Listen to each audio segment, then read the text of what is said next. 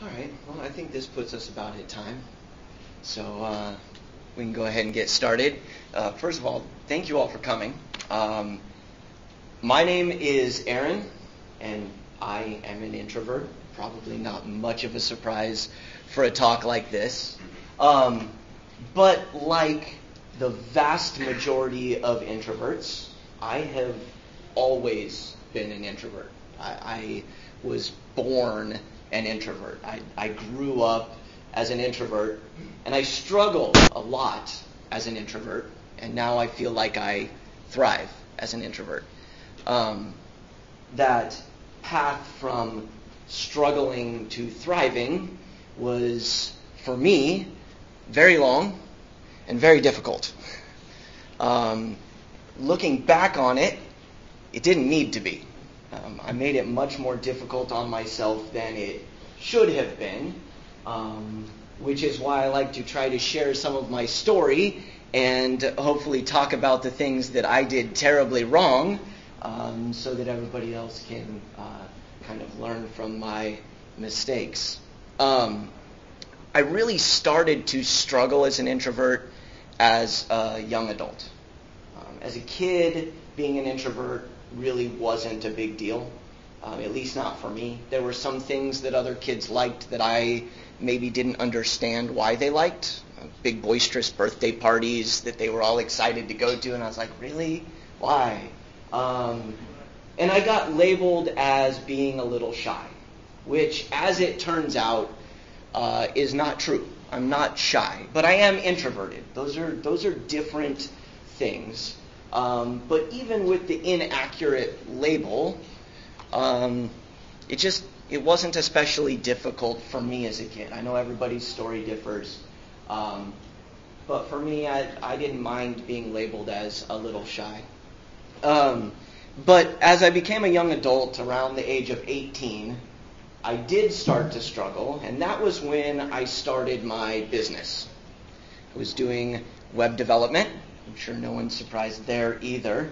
Um, and I was I was kind of lucky going into it. My parents had owned successful businesses all as I was growing up. So I went into it knowing and understanding that there was a lot more to running a successful business than just being good at web development. I knew that I was going to have to learn all kinds of things about business finances and taxes and eventually employment codes and I was going to have to learn how to market um, and I was going to need to go out and bring in customers, clients, right? From the very start, I knew that I was going to have to do that. I had seen my parents, my dad especially, doing that um, for their businesses. Um, and, and, I thought, no problem. Like I, I know, I know what I'm getting myself into. Um, and so as I started my business, I started like most people do, going out to friends, existing connections, and getting them to make connections. And then I started to spread out and, and try to find clients at you know local small business association meetings and um, chamber of commerce type stuff, small tech events near me to to um, build relationships with other people in my industry. Um, and I was being successful, I guess. I was making it. I was paying my bills. My company was surviving even growing a little bit. But it was really hard, like a lot harder than I had expected it to be, a lot harder than my dad had made it look, and he was kind of my example going into this. Um, but I chalked it up just to inexperience. Right? My dad had been doing this for many, many years. Uh, I was brand new to it. That was that was all it is. I was sure of it um, because my dad and I are a lot alike. We, we approach a lot of problems the same. We, we collect information and, and assess things, and um, we don't let you know emotional issues get in our way as much. Like it's just kind. Of, I thought that we were very similar. As it turns out, there's one big difference. He's an extrovert and I'm an introvert. I just didn't know that at the time. I just thought I was inexperienced. So I kept pushing ahead and growing my business. And the further I got into it, the more of my time and energy was being spent um, doing this one thing that was especially difficult for me, going out, and interacting with bigger groups of people to um, sort of build my client base. It, it sucked up so much of my energy that after a few years, I began to wonder if this like wasn't just inexperience and um, if maybe I was just terrible at all of this. Uh, but by now, I built a little bit of a network, and I saw other business owners in my field um, that were going to the same, say, tech conferences that I was, and made it look easy. They would go, and at the end of a conference, I would come away with with a few really great connections, relationships that I was going to build that were going to help me. Um, but I would be exhausted, drained. They would be all energized and excited and happy. Um, and it looked, from my perspective, like they had made way more connections than me. Um, and so I decided what I needed was more information. I needed to know their secret. Um, so I sat down with several of them and I asked them, What is your secret? Is there a secret? because it doesn't seem to just be inexperience, because even after several years, I'm not really getting it. So, what is the secret? And every single one of them, not just one or two, every single one of them said, Absolutely, Aaron, there is a secret. You just need to become an extrovert. yeah. And this was really where I made my first biggest mistake which uh, caused this process from struggling to thriving to be so much longer and more difficult. Because at first, I sort of sighed and went, I don't know if I want to be an extrovert. Um, but I did want to be successful in business. And um, I've done other things to help make my business successful. You know, I had struggled my way through learning taxes and these kinds of things that weren't super fun either. Um, so why not this? If that's what it takes, I guess I just need to become an extrovert. Uh, and I should not have listened to them. The way to become a successful introvert is not to become an extrovert. Um, but I was young, I was inexperienced, I didn't understand. Um, so I went for it. I started to actively work at becoming an extrovert. Um, I would watch what they did at these events. I would see how they act. I would try to do the same. Um, and at first, maybe for a very short period of time, I thought that I was kind of getting the hang of it, mostly because I got um, good at imitating an extrovert.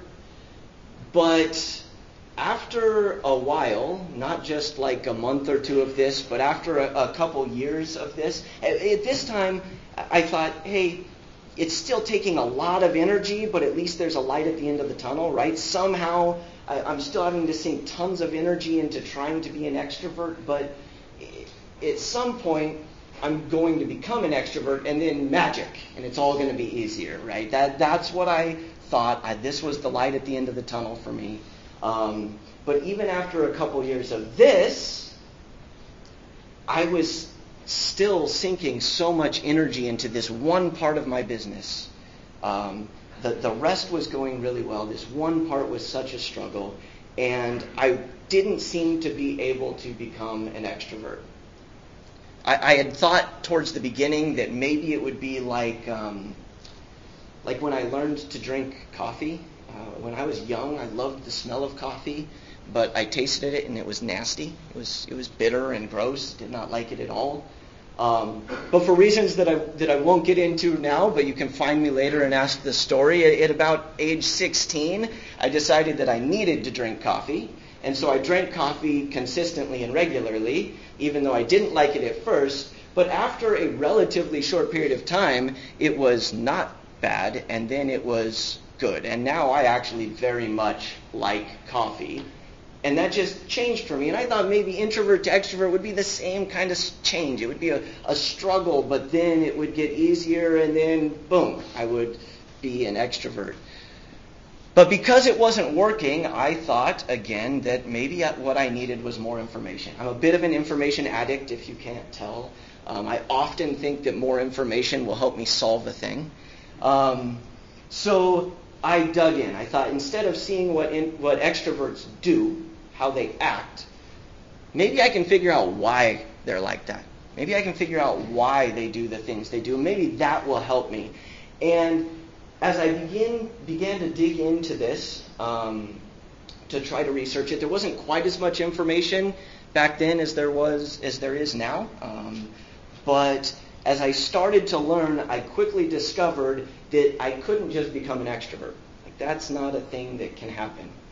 Um, and I may have given up and just gotten so frustrated um, that this was a problem that I wasn't going to be able to solve, except that the reason I couldn't just become an extrovert was because of science.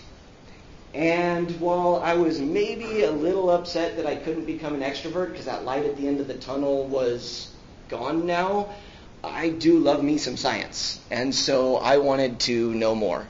Um, and as it turns out, digging into the science behind it, starting to understand um, the actual differences between introverts and extroverts became a turning point for me. And it comes down to our brains. Introvert and extrovert brains are different. Physically, measurably, observably different. Not just not just like a preference like some people don't like the taste of coffee, but I could learn to like the taste of coffee. Um, our brains process certain chemicals differently. The blood flow in our brains flows differently at different times and for different reasons. These are things that I couldn't control. Um, so I couldn't just change and become an extrovert, which was a, a little frustrating at first, but I, I started to learn how the brain did work. And basically, everyone's brain has like this peak efficiency zone. And when your brain is in that zone, it's really easy to be productive. You can get an awful lot done. You can, you can reason through a lot of things and solve a lot of problems for relatively low energy input. Takes almost nothing. You almost feel energized when your brain is functioning at this peak efficiency. And I realized that for me, I had always known that this existed. I just didn't know the specifics behind it. And I would say that, you know, I was in the zone. I, when I was working on writing a bunch of code and solving some sort of big complex issue, you know, I would get in the zone and all of a sudden there'd be hundreds of lines of code. Um, and that was because my brain was at this peak efficiency level. And everybody has that but it's not in the same place for everybody. And for introverts and extroverts, it can be dramatically different. And so for me, a lot of times this happens when I have very little stimulus. I'm maybe by myself sitting at my computer working on a thing. For some people, this may you you may be at this point when you're out with friends, talking and hanging out, bouncing ideas off of each other, um, inspiration is striking and, and you're solving all your problems and coming up with everything that you need to move forward in business or whatever it is that you're trying to, to work on. Um, and it's easy. All of that is coming very easy to you at that moment, and that's because your brain it's at this peak efficiency. But this peak efficiency sits on kind of a continuum from um, less stimulated or even understimulated all the way up to lots of stimulation overstimulated. And this continuum is mostly controlled in our brains by two chemicals. Dopamine on the, the, the um, stimulated side, which most of us have probably heard of, and acetylcholine.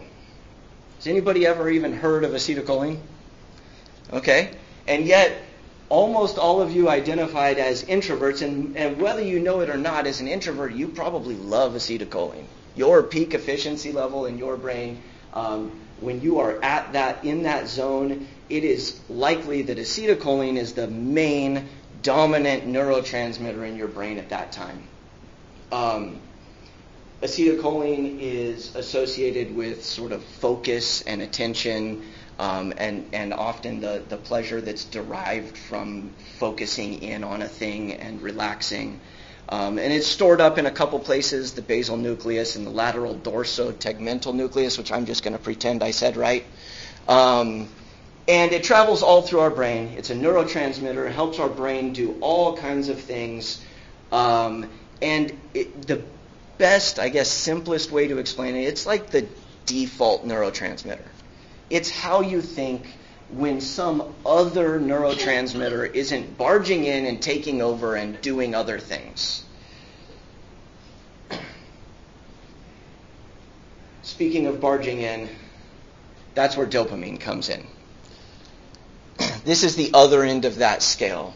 Right? Um, and dopamine is tied directly with the reward system in our brain. And this is this is interesting because a lot of people think that the reward system means something good happens, your brain sort of rewards you, but really the part of the reward system that dopamine is part of is not telling you that something rewarding has happened, it's warning you of the potential of reward. It's saying something good could happen. So you sit down at a table full of, of food that looks and smells great. Your ventral tegmental area, your VTA, creates a little dopamine and sends it out because it says, this could be rewarding. We like food. This could be good. Um, it doesn't assess risk at all. That, that function belongs to a different part of the brain. Um, so similarly, if you are at a roulette table and you put it all on red, um, your VTA creates a little dopamine because it says this could be good. We like money. Now, the, it's just as likely or more likely, I guess, that you could lose that money, but this part of your brain doesn't care about that. That's another part's job. Um, but for introverts and extroverts, one of the real important things to realize here is that there is potential reward from interacting with people. When you talk and interact with a person, there is the potential for reward. Something good could happen. That could be an important relationship, or I don't know, that person could randomly pull out a hundred dollar bill and give it to you, right? I, I, I, don't know exactly what the what this part of the brain thinks the reward could be, um, but there is the potential, and so dopamine is created. And the more people that you are interacting with, the more potential for reward. And so the more dopamine that is created. And in introverts and extroverts, the VTA acts basically the same and creates roughly the same amount of dopamine, um, which sometimes feels like a struggle because, as it turns out, as that travels through the mesolimbic dopamine pathway and gets used up by the nucleus accumbens, our nucleus accumbens in introverts is really different from the nucleus accumbens in extroverts. In introverts, it is extremely sensitive to dopamine. And in extroverts, not hardly at all, comparatively. Um, so it, we've all seen brain scans that have lit up areas, right? The brighter it is, the more activity is happening in that part of the brain. These are usually EEG or fMRI scans, and someone's talking about what what some part of the brain does and why it's so interesting that it's lit up bright. Well, scientists use that those scans to see which parts of the brain are active and thinking and, and in use. And when they do one of those scans on an introvert, and they have measured that the, the dopamine traveling from the VTA to the nucleus accumbens is some set amount, some small amount, they will see that it lights up all over the place. But when they do the same scan on an extrovert with the same amount of dopamine flow, not near so much. But as they increase the dopamine flow, that extrovert's brain will eventually light up just like the introvert's brain. It's not that they don't have that peak efficiency level. It's not that we don't have it, but it's very different. And I started to realize that this was true about me, that, that I got overwhelmed easy by being around a lot of people. Um, and it made it harder to think clearly. It made it harder, not impossible, which we'll get to in just a second, but harder. Uh, on that, on that um, like understimulated to overstimulated scale, when you're understimulated, you probably feel maybe tired, even though you've slept. Um, you probably mostly feel like you lack motivation. It's not that you can't get stuff done, but you kind of have to force yourself, push yourself, make yourself be motivated to do a thing. Um, on a day when I realize that I've been um, sort of understimulated, at the end of the day, I may look back and see a few things that I accomplished, but I felt like it was just hard to get them done and that I, I sank way more effort into doing them than I really um, should have had to.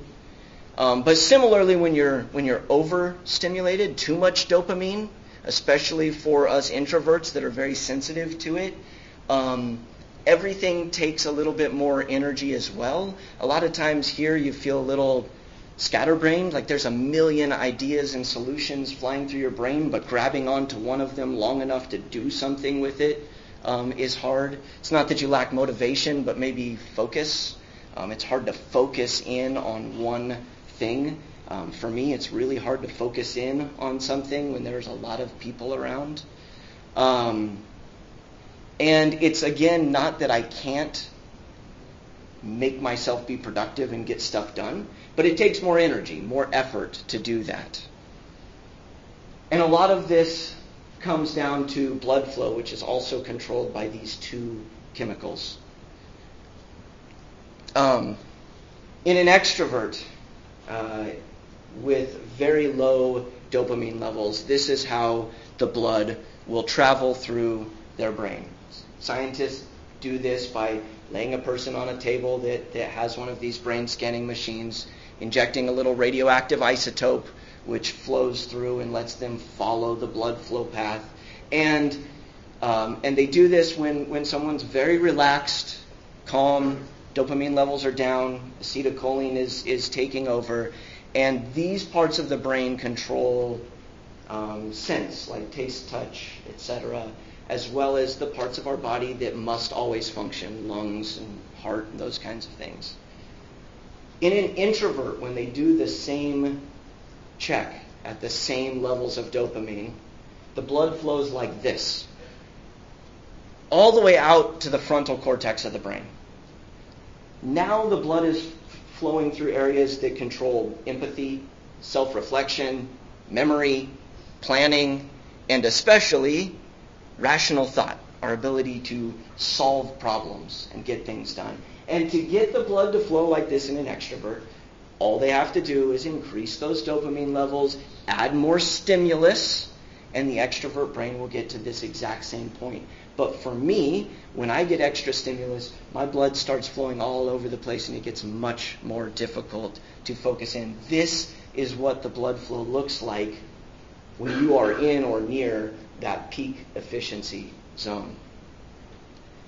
And once I had sort of learned all this, which may be more science than you thought you were going to get when you came here today, um, but things dramatically changed for me. G.I. Joe really had it right.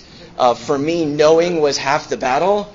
Um, and I changed my focus. Instead of the light at the end of the tunnel being, you know, turning into an extrovert, um, I stopped trying to be an extrovert. I stopped trying to succeed by using someone else's set of strengths.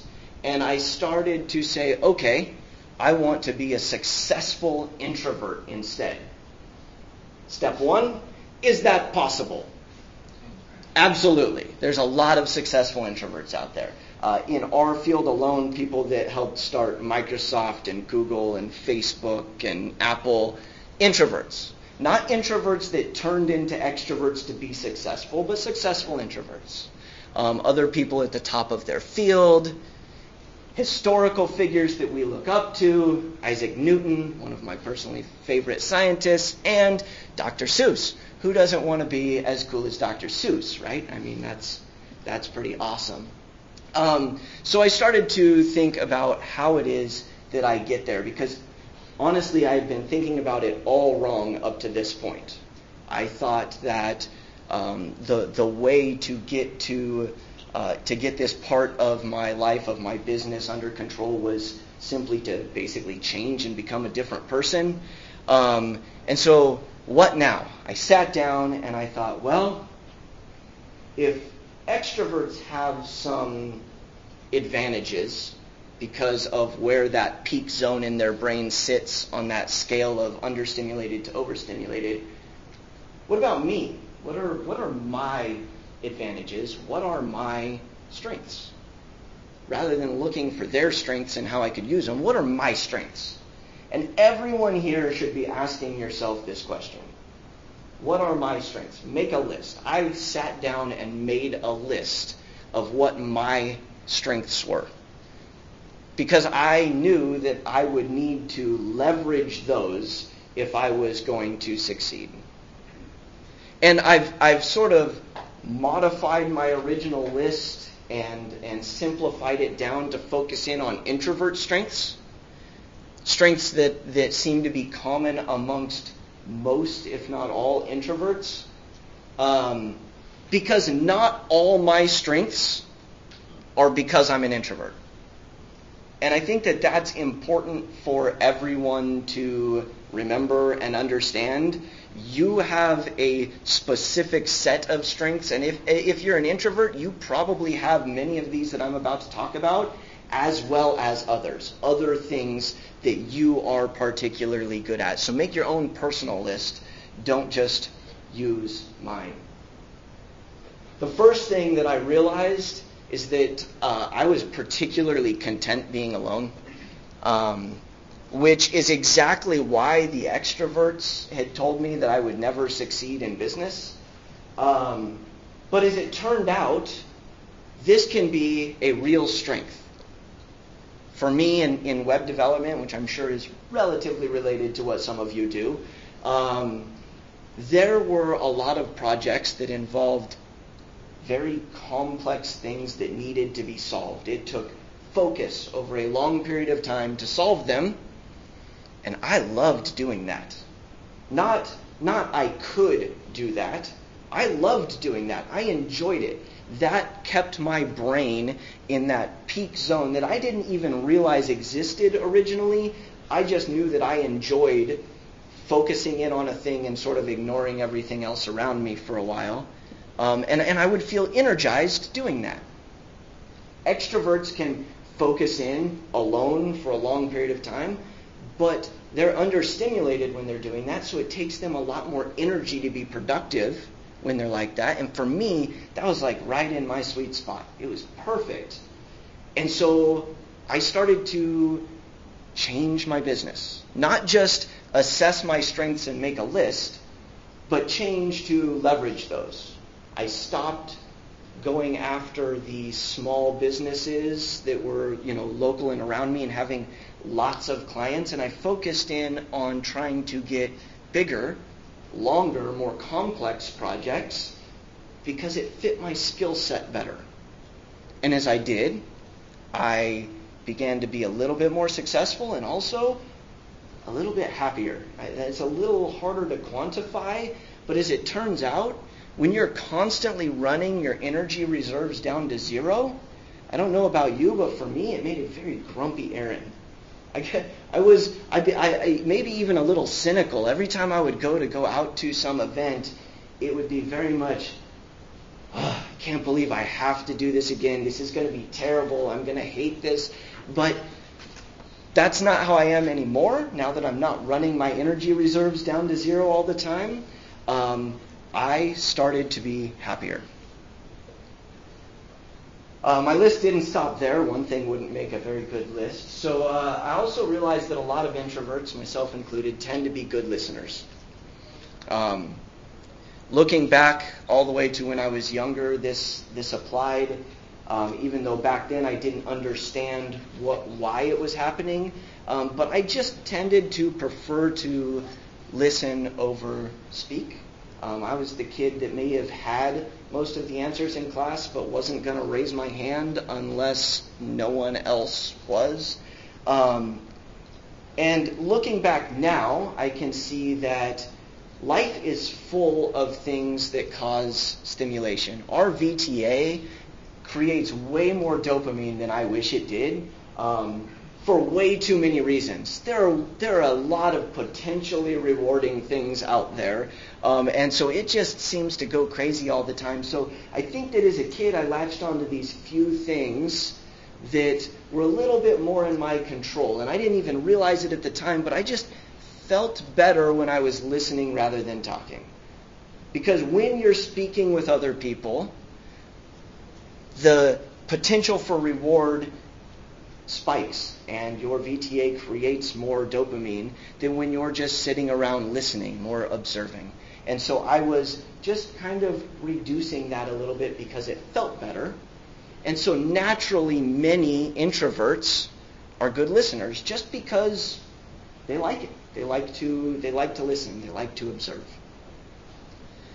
Um, for me, trying to f- focus again on how this helped me succeed in business, as I moved to these bigger projects, and ultimately all the way up into enterprise level projects, working with um, big Fortune 500 companies and such. Um, this served me really well on you know those big meetings or conference calls that had a dozen people that all had ideas and input and stuff that needed to happen, and I was very good at just listening and processing it all and making sure none of that was missed. We also tend to be pretty well prepared. Um, this is another sort of uh, mitigation thing.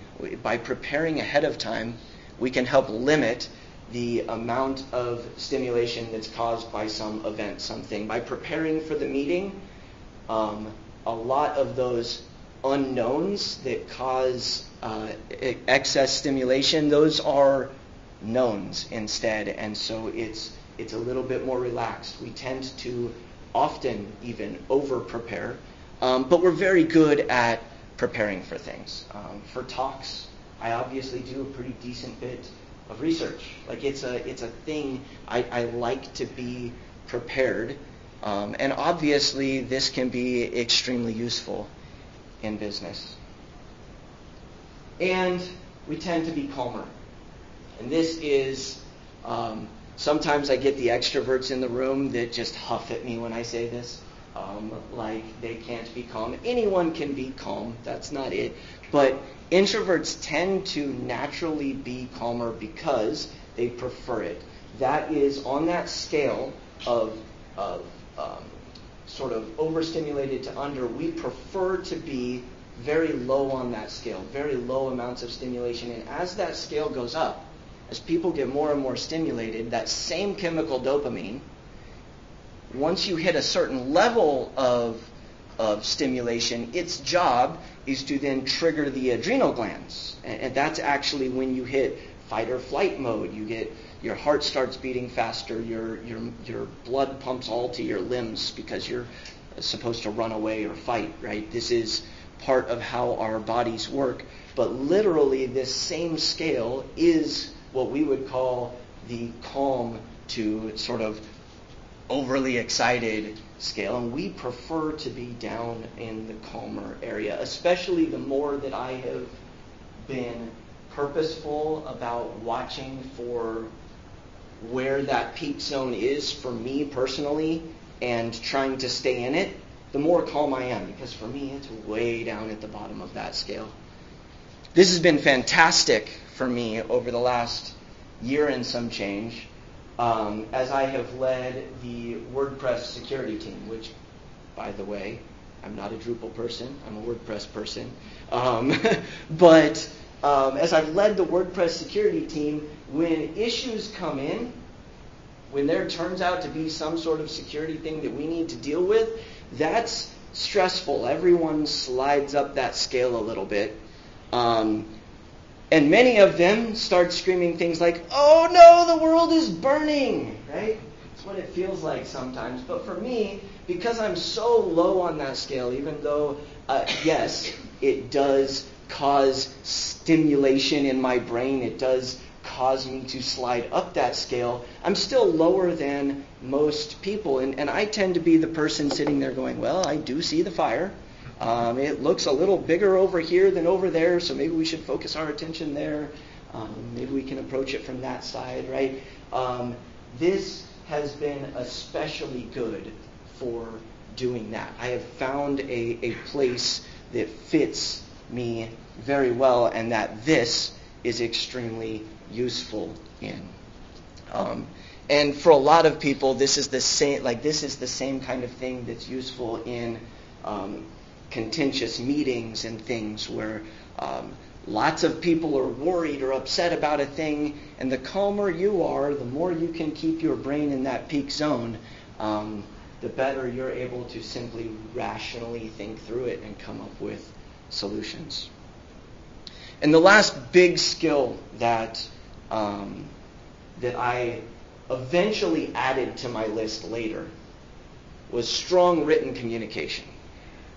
Um, I knew that I had this before I even knew really what an introvert was. Like from the very beginning of starting my business, I realized that I was good at written communication. It served me pretty well. But I didn't associate it even after learning a lot of this with being an introvert until I started doing some talks like this and talking to a lot of other introverts and hearing their stories too. And then reflecting back on sort of my path and looking at why I was good at written communication. And as it turns out, the reason why I'm good at written communication is because I practiced it a lot. I mean, that doesn't seem uh, like a revelation, but you know, it really was that simple. But the reason I practiced it a lot is because I preferred to communicate in a written form rather than go talk to a group of people. It was another one of those things that I was able to, before I understood this whole scale and how it all worked, I was able to control this one little bit of excess stimulation that I didn't really need. And it just felt better to write to a group or write about a thing or write down an explanation rather than give it in person. I didn't understand why, but it did.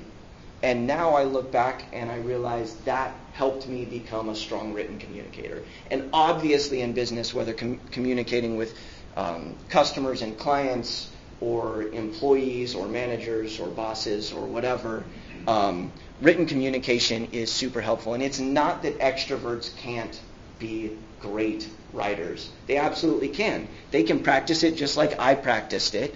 But I did it naturally without even realizing it because that's just what I preferred. And so as I've talked to lots of introverts all over the country, I've realized that many of them have done the same. But even with all this, and even with adjusting my business quite a bit, um, I still hadn't come back and solved that first original thing that started me down this path. My business was growing faster now. Um, I was I was definitely feeling more successful and a little bit happier, but it didn't negate the fact that I still needed to be going out and bringing in clients. I still needed to be going to tech conferences, both to learn things and um, to, to speak at some of them at this point, to, to sort of show that I was an expert in various areas.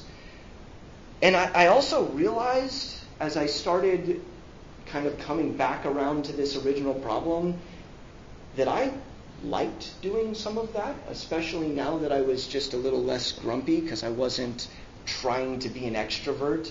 Um, I wasn't antisocial. For a while there, I actually thought maybe I'm just antisocial, which everybody tends to link up with introverts. Introverts are antisocial. But that's not true. I enjoy meeting people. I like talking to people. I like um, building new relationships and learning new things from people. maybe that's the information addict side of me, but like I, I love that. I love learning the new things that come from meeting all kinds of new people. Um, but socializing takes energy. I'm not antisocial. I'm not Oscar the Grouch. I'm not saying scram, get away from me, leave me alone, people. If I was doing that, I wouldn't be up here talking to you all. Um, but socializing does take energy for me.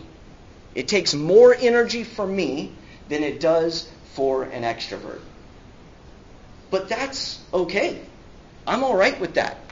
Because as it turns out, I'm willing to invest that energy into a thing that I want to do, into a thing that I consider beneficial. We all make energy exchanges for things that we want all the time. I mean, heck, some people run marathons and that takes a massive amount of energy, but they enjoy it or they feel accomplished when they do it. To them, it's worth it. I really love coffee. And after this, I'm probably going to walk down to the Frothy Monkey, which is like a half mile away, and get a coffee. And that's going to take energy to do, but I think it's worth it. That reward to me is worth it. Meeting people, building relationships, to me, that's worth it. I want to do that. I'm willing to spend the energy, but now I spend it purposefully. I don't pretend like it doesn't cost me energy, which is what I tried to do when I was pretending to be an extrovert. Um, because when you do that, your tank runs empty. You spend all your energy right away and you bottom out, and that does not feel good and it is not easy to recover from. And if you're anything like me, it makes you grumpy. Um, instead, I just allow myself that it costs energy and I take breaks and do things like that. Simple things. I will disappear from this conference for half an hour just to go either be in an area where no one else is, let my dopamine levels drop, let my energy levels come back, and then I'll come back and talk to people again, and I'll be able to be productive again. I'll be able to communicate better and clearer. I'll feel more energized and ready to do all that because I've, I've given myself that allowance. The fact that not everybody needs that allowance just doesn't bother me anymore. I don't, I don't need to be an extrovert. I can succeed at these things as an introvert.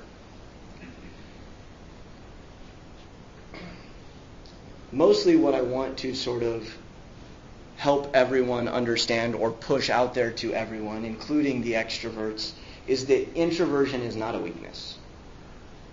That's the biggest thing that, that set me down that path that made it take me like eight years to, to struggle through this and figure it out.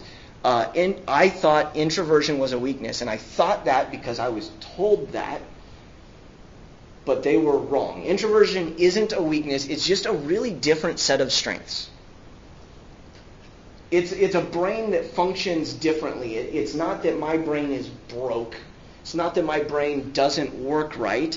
It's that it's different than an extrovert's brain, and that's okay. Because even with so many introverts in here, none of our brains are identical. And that's all right. We can all succeed in our own way by making our own list of strengths and leveraging those. I'm Aaron Campbell. I said that I lead the WordPress security team, so now you all can ask me about that too, I suppose. I'm funded by GoDaddy to work full time on the WordPress open source project. Um, link to my slides is up here, but I have also tweeted it out, so it might be easier to find it at, at Aaron Campbell on Twitter. But I would love to take some questions, which I believe I have plenty of time for. Thank you.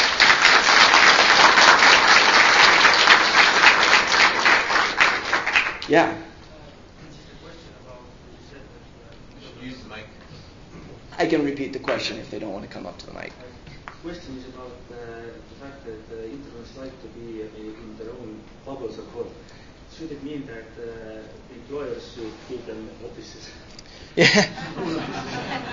yeah, you know, it's um, it's interesting as a person that, that leads a team that includes both introverts and extroverts. I definitely feel like um, they kind of have to be managed a little bit differently.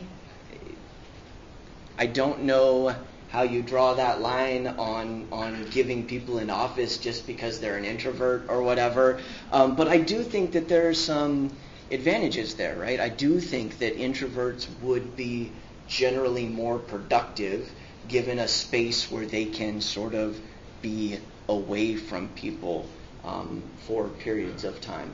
But the biggest thing that I think most employers or managers or whatever can do is to simply start by learning whether the people that work for you are introverts or extroverts, and then trying to work with them accordingly, right? If, if an introvert does need to function with a team to accomplish a task, make sure that there's time allotted for breaks that they can go away. Not we work the first half of the day together and then we go out to lunch together and then we come back and work the second half of the day together because a lunch together is not a recharge for an introvert. And if you know that you have introverts working for you, understanding that and making those allowances um, can be huge and can definitely be a boost to productivity as well.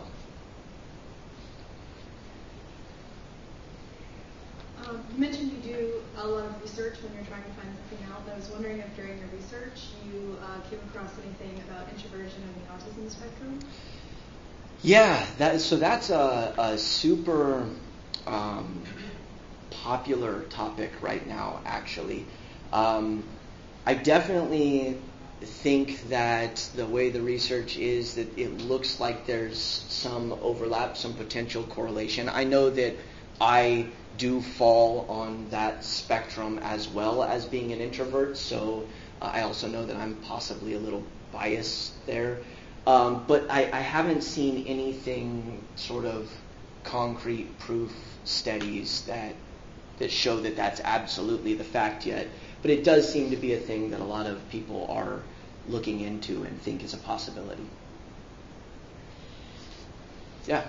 Uh, there's uh, quite a few popular personality profile tests. Do you find uh, one pegs uh, certain personalities better than others? So the question was that there are uh, personality profile tests, quite a few of them, and, and do I think that one sort of is more accurate than others? And this is a this is a tough one for me to answer because I really dislike all of them. Um, and part of it is because I, like I'm a, I'm an extremely factual, very sort of black and white kind of person around a lot of things for me and my personality. And when it comes to one of the questions where one of the answers isn't absolutely exactly right for me, I don't want to pick the one that's closest. It drives me crazy. Um, and so I, I, tend to just not like any of them because I don't like taking them. Um, but no, I, I, like I don't have one that I particularly think is more effective than the rest. Okay. Question: uh, You talked about taking some kind of break to basically bring yourself back to a state of calm. Mm-hmm. Um, either in your research or in your personal experience, do you have techniques that help you get back to that state faster? You know, is it like don't look at your phone or breathe, you know, do a breathing exercise or, you know, close your eyes and in a quiet space? Is there something either worked well for you or you think would work well for more people? Yeah, so that's a fantastic question. And um, for me, staying away from my phone definitely helps me recover faster because um, my phone has, for example, all the WordPress security alerts and conversations going on it. It has, uh, you know, alerts that come in from from GoDaddy stuff. It, it's um, all these little stimulations that make me uh, that, that have the potential for causing a little bit of stress, which slows down that recovery time, slows down the, the ability of your brain to process out that dopamine and, and move on. Um, so avoiding anything that can be um, added stimulation like that. Um, and I closing my eyes drives me crazy. That that doesn't help. Um, deep breathing definitely helps. and that's a, a flat out medical scientific thing.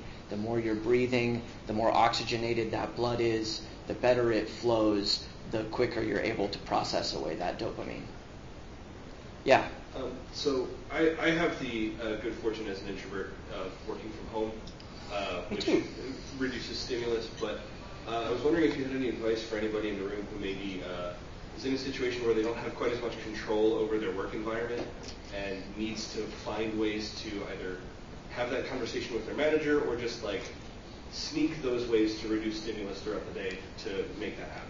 Yeah, that's a that's a tough one. I, I actually get that question quite a bit, and I don't work in an office. I, I work from home as well, so um, I I don't feel necessarily as qualified to answer this one as most. Does anybody have secrets that they use that they want to share? I mean, otherwise I'll say what some other people have told me. Yeah. I work in an open office, so we just for all everyone's in one space. I use noise canceling headphones. Noise canceling headphones. Noise canceling headphones helps. Headphones too, because it lets other people know not to bother you. The bigger the headphones, the less likely someone is to come bother you. That's fantastic advice. I don't even turn on music. I just have the headphones. you don't even need anything in them. What's yeah, interesting? The problem with the headphones is that like music distracts me. yeah. Yeah. So that I've learned that I can't do that. So I'll put on just the headphones and like. Several people that wear headphones and don't listen to anything in them. That's fantastic. Yeah. What I what I find with headphones, I don't know if anybody else found this too, is that it, even though it should be a visual indicator, and I'm like staring at my screen trying to like, work on something, somebody comes up and I can see them like they start talking, and oh, I guess you want to talk. Yeah, I, I do. It, it is a little frustrating when people don't um, sort of observe the unspoken headphone rule, right? Which is, don't bother me. Um, other things that I've heard people suggest is stepping away for coffee at the coffee pot or something like that. Um, get a half a cup of coffee instead of a full one so that you run out and have to do that more often. Um, anything that you can do to sort of step away when you feel like you need it. And unfortunately, every office is going to be a little bit different, some more accepting to that than others. Um, but yeah, it seems like headphones is by and large the go-to solution for people for that. Anything else? We still have a few minutes. Oh yeah. Yeah, just a quick question. Maybe if you can talk a little bit about your approach to balancing your um, introversion tendencies with being a leader. Mm. Um, because there's there's times where you have to be on and be the guy, and people are looking at you for having the answer. But maybe you need that time to kind of prepare yourself. Maybe you could talk a little bit about that. Yeah, I mean, I definitely think that, um, especially for a long time, there was a stigma that introverts couldn't really be leaders. Um, I actually know many extremely strong leaders that are introverts, and I think that introverts can be very good. But you're right; um, it often requires um, a bit more contact. You can't always just go away and say, I'm recharging, I'm unavailable. If you have people that need you in order to, you know, move on to the next thing. Um, so for me, there's a there's a few specific things that I do. The biggest is trying to make sure that I am in the right place personally as far as um, not having run out of energy. I don't go back to um, lead a team meeting the evening after a conference like this or something like that, or even the day after. Um, I know that I have to recharge. I don't try to step in and lead things or, or run things when I know that I'm already on, you know, low or on, on E. Um, but other than that, generally speaking, I just am just like every other leader. Like I let the people can come in and talk to me and yeah, maybe it throws me off for a little bit and maybe it causes a little stimulation that I wasn't expecting.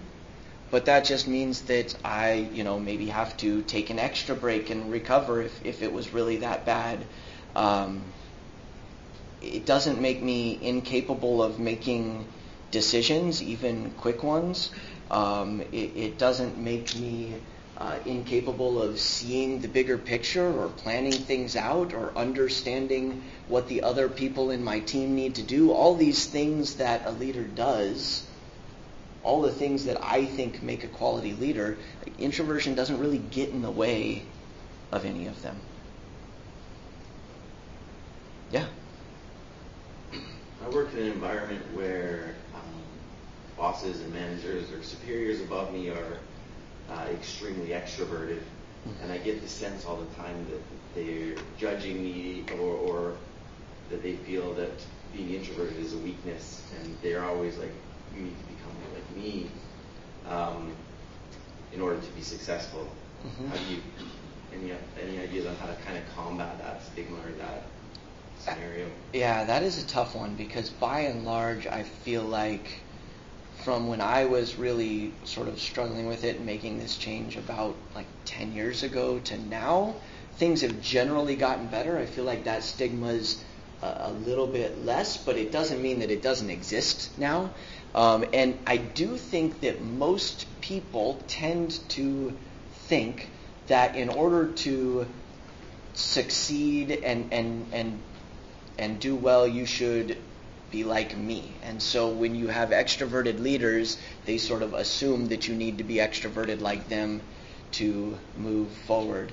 Um, and I've definitely faced that a lot, but I'm not totally sure that there's a tried and true method for helping them understand. Um, I do think that some things that have worked for me is stepping forward as a leader in situations um, and letting them see that, even if you're not being loud and boisterous, if you are leading and, and taking that in situations where you can, they start to see you as a leader rather than as a, an introvert. Um, the other is I'm a very open person, so I I don't have a problem just going to someone and saying, hey, look, it seems like you feel like I need to be extroverted, but I think that I can lead exactly like I am. Give me a chance. Um, that doesn't always work, but that is definitely my. I'm very much a direct approach kind of person. Um, anybody else have suggestions? Though we have a room full of people, so no, it's a tough problem for everybody, huh? Fantastic. I do, I do yeah. kind of make a, like a rule if, if I'm, like I'm getting like an email if someone needs something, I just get like right on that, just get that out of the way like immediately, mm-hmm. back to my stuff. So that's something I, of do. I kind of make it like a, like this is my, like it, still in meetings and stuff, I still have to remind myself like, oh, I'm here in the meeting. I actually have to talk to people. But if it's if it's something like um, someone needing help with something, I, I just make it like a, it's like my duty to get right, right on it and stuff. So. Yeah, and I do think that, like, speaking about being in a meeting, for example, I do think that because we tend to be um, better listeners and not necessarily prefer to speak up all the time, um, I do have to try to be aware of the times when I need to speak up, the times when it's actually a really beneficial thing for me to say or do a thing. Um, I feel like some extroverts have to remind themselves that there are times when they need to not do that and be quiet for a little bit. Um, but we're both we both have those things, and just as much as we wish they would just be quiet for a little bit, we need to also be aware that there are times when we have extremely useful information, things that we should be sharing that would maybe help people see us as leaders um, that we need to speak up and share. And yes, it's going to take energy, but start being aware of that. Maybe it means that you need to take a quick break just before that meeting so that you know that you have the energy going into it to speak up. Yeah. Um, I, I've seen people who they, they get that if you want to be seen, you need to speak up. You need to speak up in every meeting, and because it starts to be something that you go, oh, I got to speak up. They'll say the dumbest stuff. So it's important to um, be careful with that advice. Um, but it's, it's like you were saying, like if you can just draw a circle around, these are the things I know that nobody else around here knows. and these are the concerns, and these are my responsibilities, and just kind of have it in front of you. And when something touches that, make sure that you do speak up and you. So, so basically, speak up when it's useful to speak up. Don't speak up for the sake of speaking up. Like that's that's fantastic advice. Yeah. I just, I just feel like, you know, even if you're looking for, you can still, s- you can still, um, stick up for yourself. And if, and if someone is teasing you or criticizing you, um, you, for, you know, not being as, as outgoing or whatever it is, you, you, you, I mean, for me at least, I have the power to, um, quickly shame a person. and, you know, without a lot of words, and just say, you know, there's such a thing as neurodiversity, and, you know, I didn't ask for this personality, and I'm doing the best that I can, and I don't appreciate you, you know, acting like there's something wrong with me. Woo-hoo! Boom.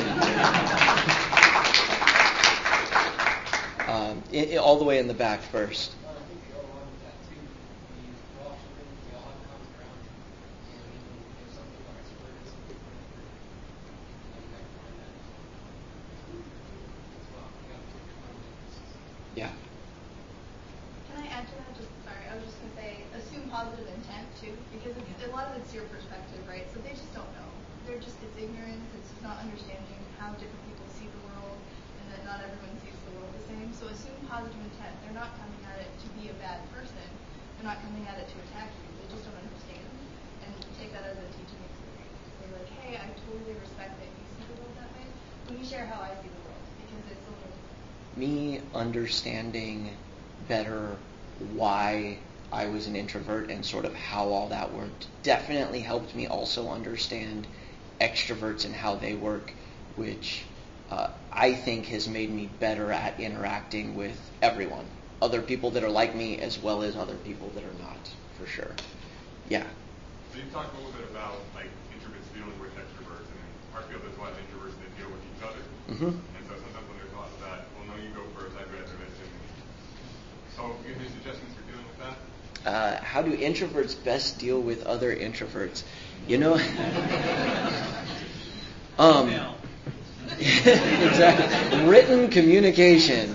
Um, you know, honestly, there is something to uh, using a thing that is comfortable for both people. You know, uh, need, if you if it's absolute if it's not absolutely necessary to meet in person, and both of you prefer to communicate written, doing that makes a lot of sense because also the back and forth form of email causes each person in turn to do their thing rather than constantly waiting, hoping the other person will speak up and do a thing. Um, but when it is necessary to be in person, uh, you know, sometimes it's it's as simple as saying, "Hey, you know, I."